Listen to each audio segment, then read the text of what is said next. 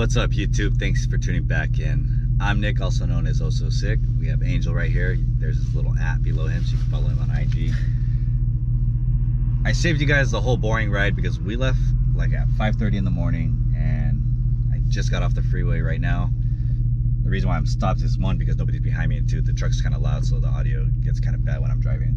But we are finally here, and just down the street is Bun Buttonwillow Raceway and we're out here for the Global Time Attack Finals. I'm really excited because, for one, I got invited out to this event, and this is like the best of the best. Everybody's bringing out like full-blown Time Attack cars, and I'm bringing a stock Aeroed Civic SI, not even a Type R, but that's fine because we made some really good power. Got a lot of new parts on there, like the W2 from 27Won Turbo. You have HKS coilovers, uh, Seibon hood, so that saves us some weight and we have the Titan 7 wheels which also save some weight. And we are running the Yokohama AO52s you have to run those tires in this class that we're in and the class that we're actually in is street class. And then we're going to be meeting with my friend Corey who works for Honda. He's going to be driving the car as well. So you can sign up for two drivers. It's a two-day event. So I'll be driving he'll be driving and then the way they calculate is whoever gets the best time out of the entire weekend but we came a day early, which is Friday today, to get some practice sessions in. But I've already seen online that a lot of people are signed up for the practice session because yeah, I mean we, we want to lay down our personal best and you know try to podium for the weekend. So got to get there, unload, do go through tech, do everything, and then there's a good amount of Type Rs that are out here that are actually set up to do this. So I'm curious to see how this SI will do. It doesn't make the most power, but again, it's reliable and it's a really good turbo. I was driving it on the street. It, it doesn't spool as fast as stock, but that's fine. This is a bigger track and we'll be at the higher RPMs anyways. And that semi truck is moving. But um, we'll see how it goes. So I got my laptop with me and uh, gonna hopefully get a good amount of practice sessions in here. That way we can data log and look at the Hondata FlashPro Manager software to see if we need to make any changes. Probably have to lower the boost a little bit in certain gears. Uh, so we'll have boost by gear uh, just to not spin the tire out of certain turns. So car's coming up, but we're gonna get into the track right now and let's see what type of cars are there.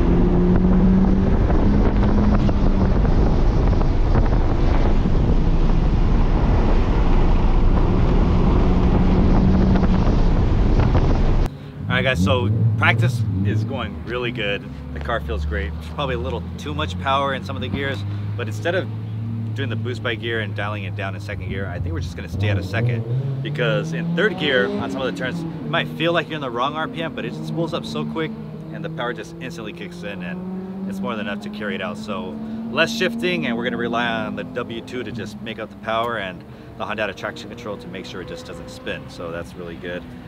The things that I noticed is the brakes. Obviously these are the street pads, and they're Wilwoods and been driving daily on it and the brake fluid is probably not that good. Uh, so the brakes faded after like the third hot lap. Corey, do you feel anything?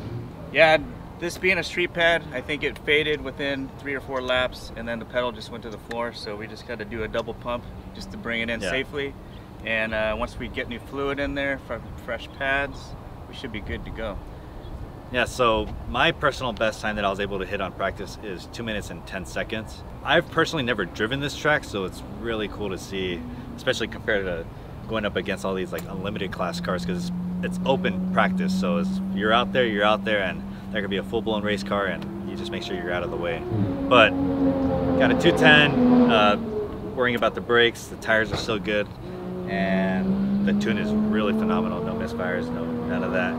Um, think we're done for the day though, just because we're gonna focus on changing the brakes, as you guys already saw, and I posted in other videos.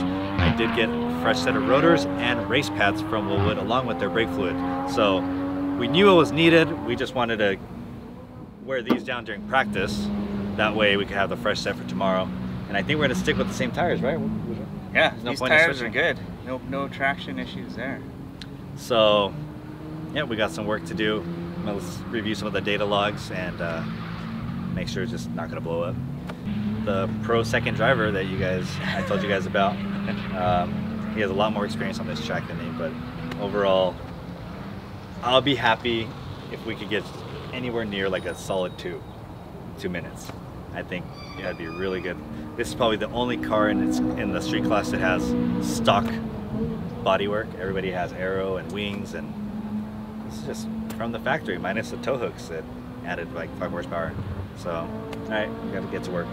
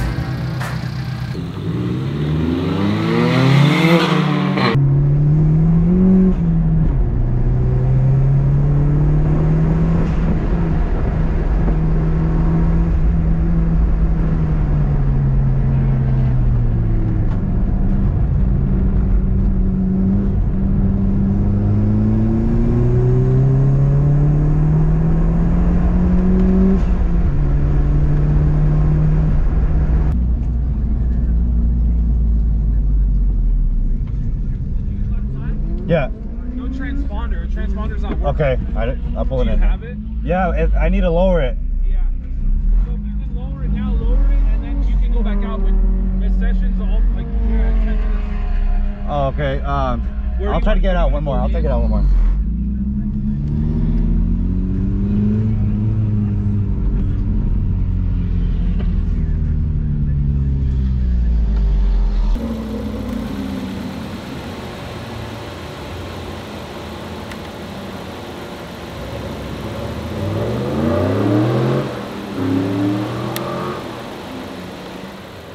All right, go fly.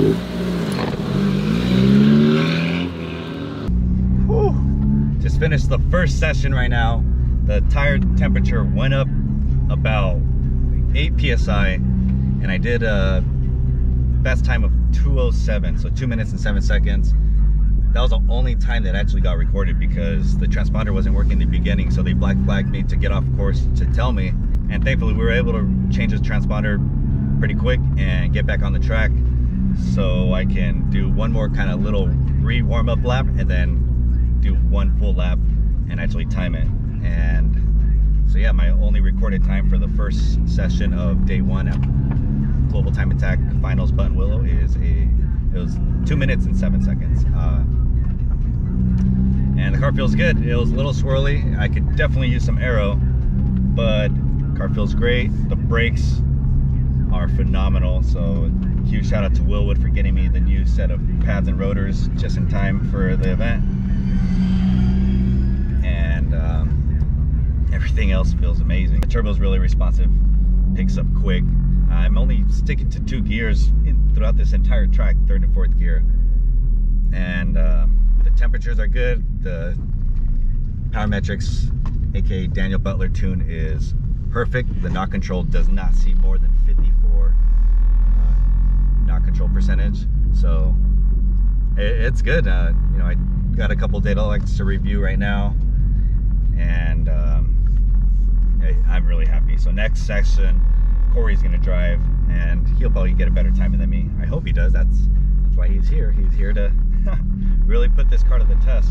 The HKS coilovers are doing phenomenal.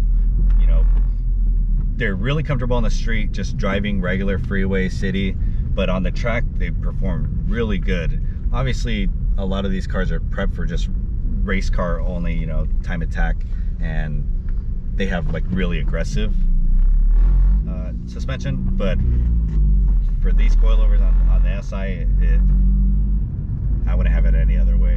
You know, I, I had the springs for a while, um, which is great and it looks really good. Uh, but yeah, these coilovers, best bang for the buck for sure on the suspension. Uh, still stock sway bars. Uh, so yeah, um, I'm just cooling down right now, doing circles so the brakes cool down just kind of goes back to regular operating temps. Uh, but it's fun. I uh, gets sideways a little bit on certain sections. Uh, I'm still hesitant on certain sections because you do get to speed pretty quick. But the good thing, uh, there's a lot of like elevation changes, and you could feel the Honda traction control like just keeping me grounded. So I can't wait to see what the log looks like on that. Stay tuned. We're gonna look over the car, make sure everything's good, nothing, no leaks, etc. But motor feels strong. We dialed it back from our practice today, yesterday. Yesterday we had uh, the 100 octane tune, and it, it might have been just probably because I still had a blend of 91 when I put off 100 octane. So that, or it's just bad gas because the gas station I got it at was pretty suspect. Um, so the knock count rose a little bit, and we're not trying to. We're just not trying to risk it. We're just trying to play it easy. So we dialed it back, the 91 tune back in it. Uh, because when we were at 27Won in Vegas, we tuned the W2 on pump gas first, 91, and then we drained it out, put on 100 octane, and then did that tune. So this 91 tune, I, if I remember correctly, I'll double check, but I think it's at like 270 horsepower. But it's more than enough for this track. So um, if we're close to podium, we'll turn it up. But if not, we're good right here. Just having fun. It's a nice day, got good weather, so see how these tires do. And then I haven't tried the new brakes on the track yet, so I'm excited to try that out.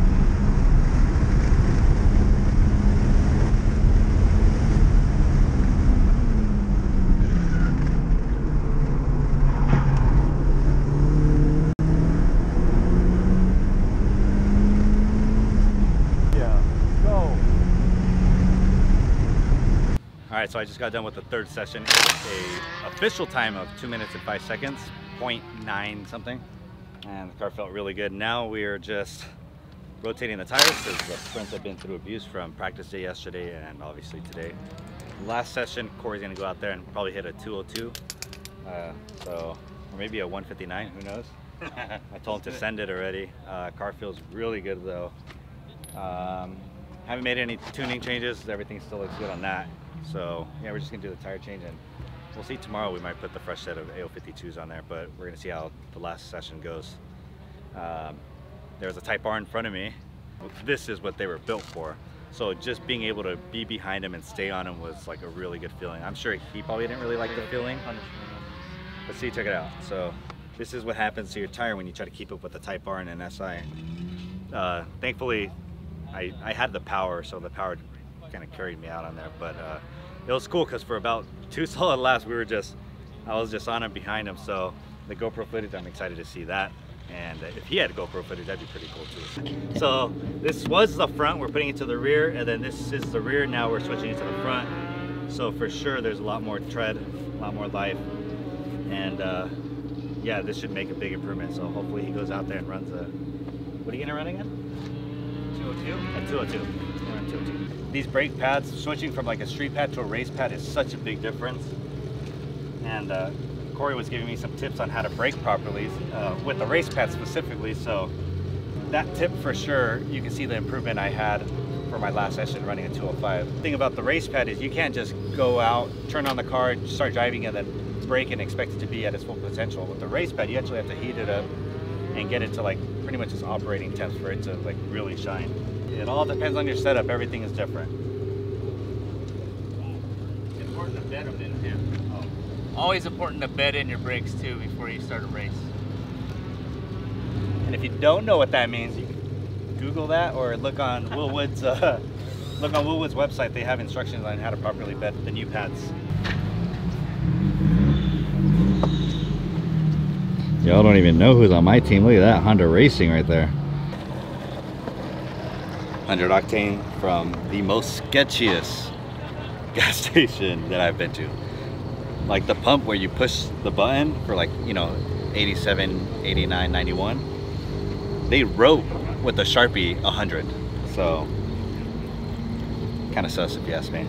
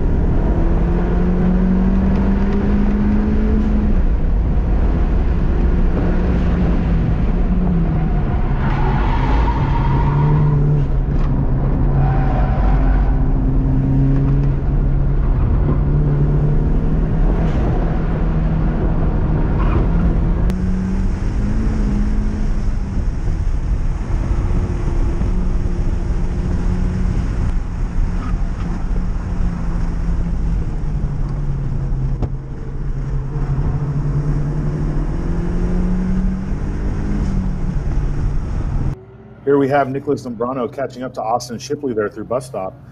That's one place where you're going to see cars really have a different speed differential because it comes down to the, driver's comfort level more than anything. Also, um, every single 10th gen SI owner in the world is going to use that shot of an SI passing a Type R on track and say, "See, I told you I was faster."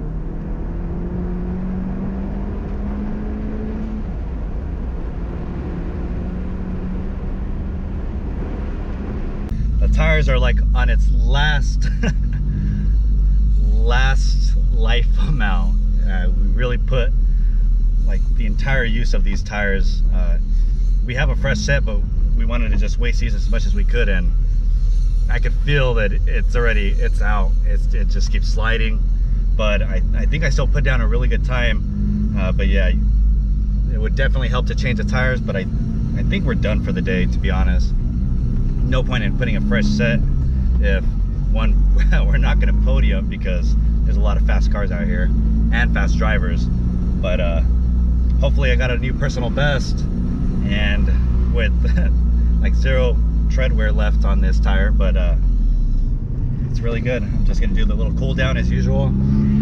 Uh, definitely feel the the back end getting out uh, but we also raised the tire pressure in the rear so uh, it's it's fun. It was fun had a little issue with the first couple sessions. First session, there's kind of a lot of traffic and everybody was just going full send, so a lot of debris and just craziness. Uh, second session, second session had some issues, uh, but fixed all that.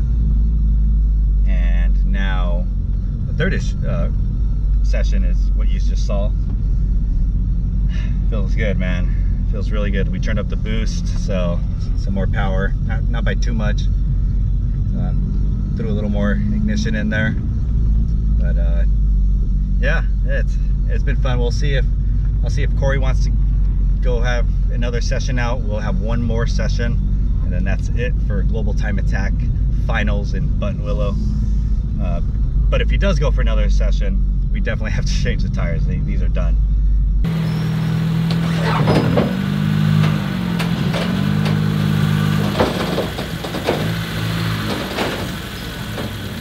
haven't really road raced or not that into it. Buttonwillow is kind of like the landmark to really compare your car to other cars. So so far so good. Had to put the new battery in the Raptor, but I mean that's fine. Next stop, Baja, two days. And uh, for those of you who haven't subscribed yet, be sure to subscribe. Remember, life's also. Live